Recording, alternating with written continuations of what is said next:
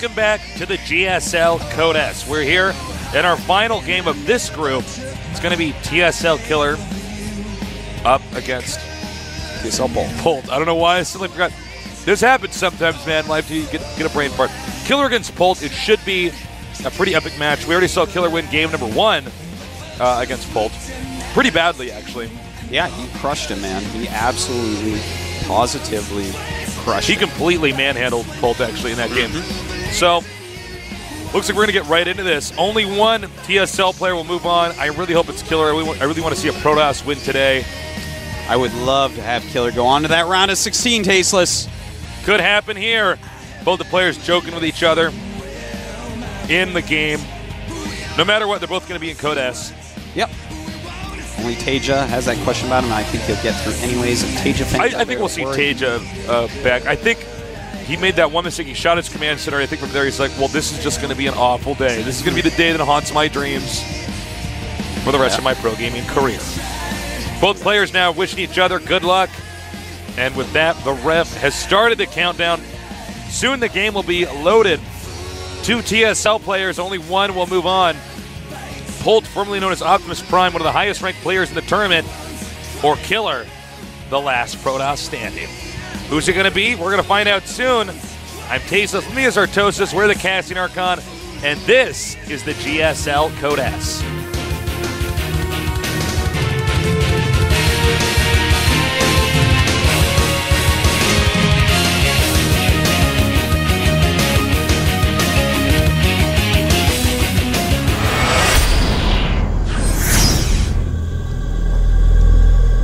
Our map is Antigua Shipyard. Where Nestea parks his yacht that he got from all that money. Over here in the upper right, we have Pollard. Pollard.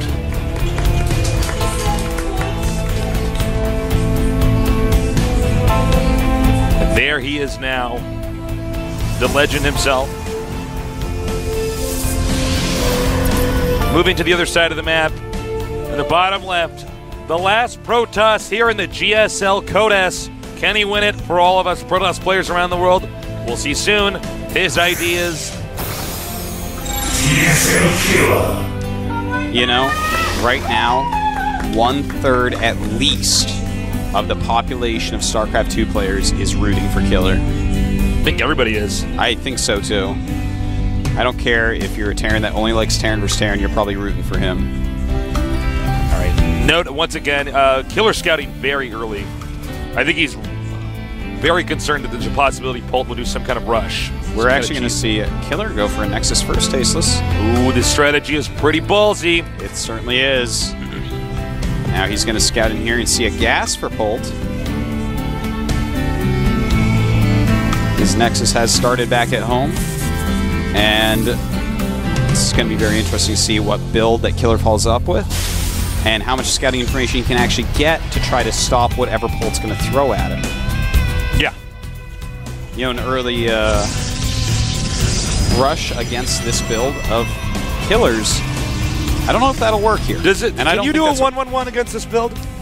I haven't done Nexus first in a while, actually. I've been I opening have up not Robo run early. into one one one with my Nexus first builds. Normally, if they rush you, it's going to be a uh, Marine SCV. there's yeah a Marine SCV rush if they scout you quick enough. Polt though has not scouted at all, which tells me that it's very likely that he's going to do something uh, like that, like a one one one.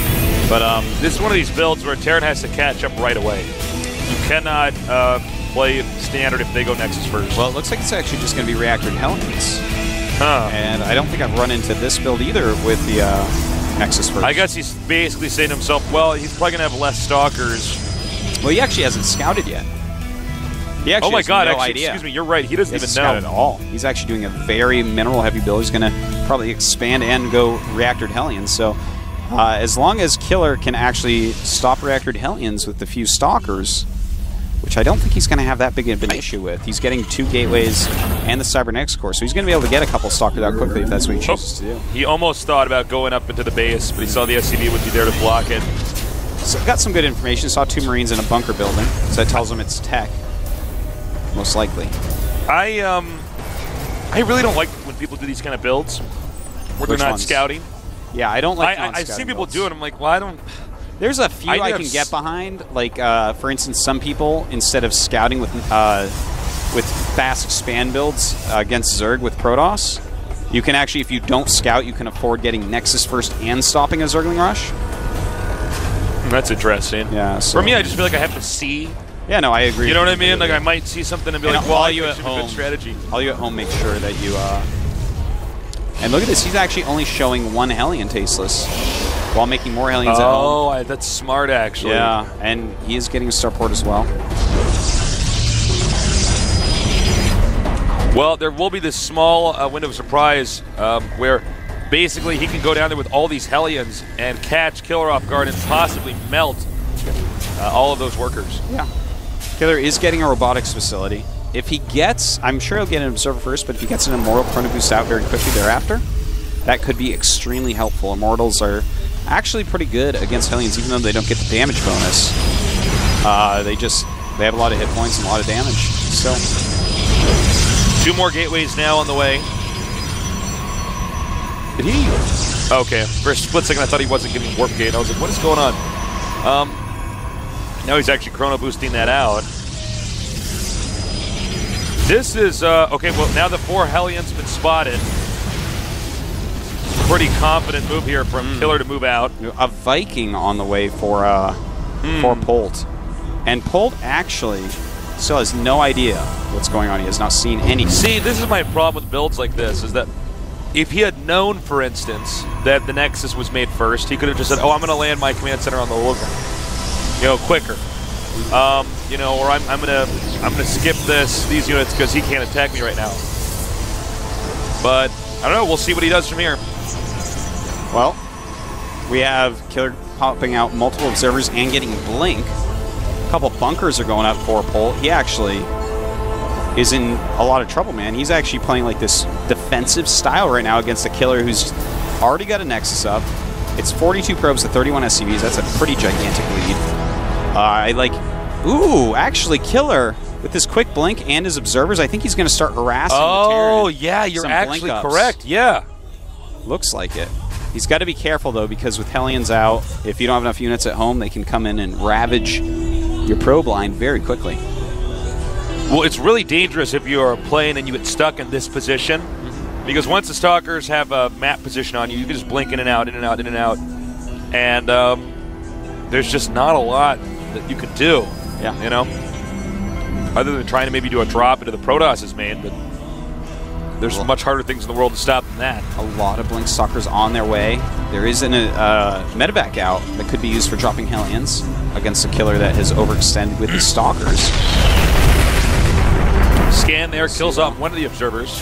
Oh, I like this. Killer is proxying a pylon to warp in once he gets in the main base. He might actually just go for uh, a possible kill move here. All right, here we go. Going for the tech lab right away. He says, no Marauders for you, sir. No upgrades either. No stim. the stim. No stim. Huge move by Killer, and he can actually blink out if he wants. Look at this. Killing add-ons left and right. And that's how you want to do it. Add-ons die very quickly.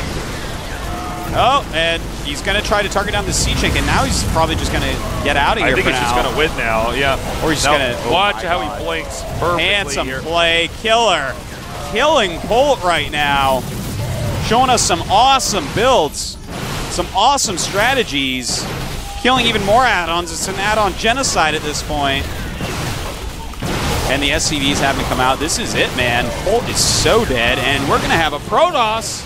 No one We- expected this in the round of 16. Pro- Killer has done what no Protoss in the world could do. He managed to go up to the round of 16 in this code S.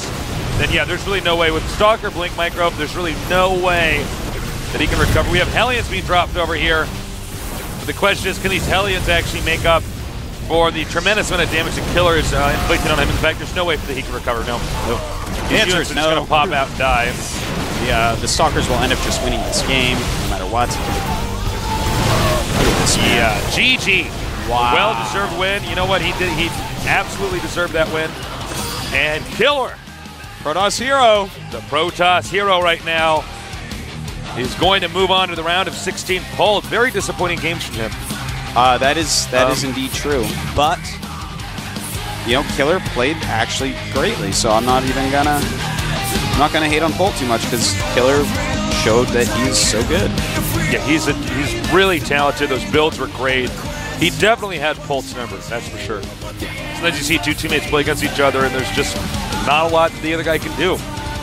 He's inside of his brain.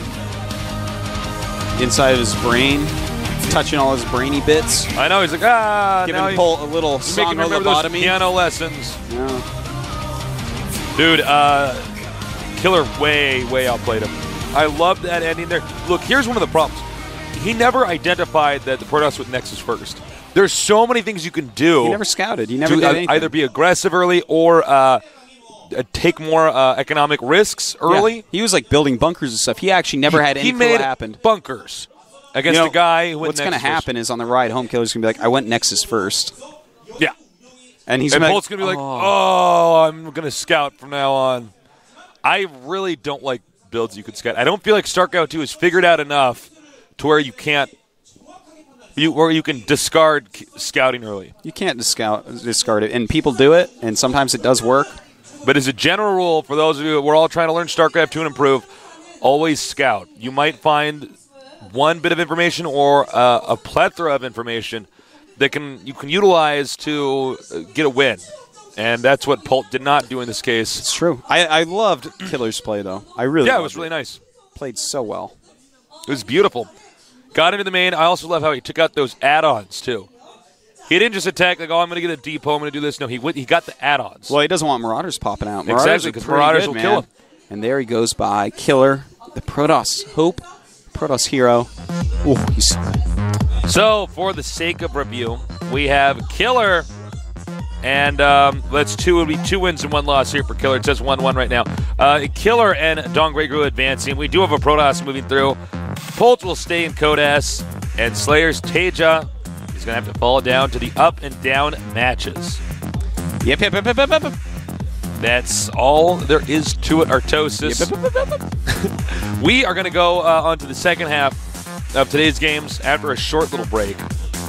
Um, so happy to see a Protoss move on. I don't know how far Killer's going to get. I don't see him getting into the finals, but it will be exciting Yeah. to see him. The last hope for Protoss moving on. And by the way, good for him because this was a very tough group. I did not Yeah. foresee him No, getting out. I no, was no, hoping no. he was going to get out, but I did not foresee it. I, I knew any two could, but I actually thought the Killer might have been the weakest link and gone down the up and down. It But- certainly was a possibility, but He had some sick builds prepared, and he knew his new teammate pretty well. He did. All right, guys. Well, thank you so much for joining us. We're going to close out with a little five-minute break. We'll be back soon here at the GSL Code S.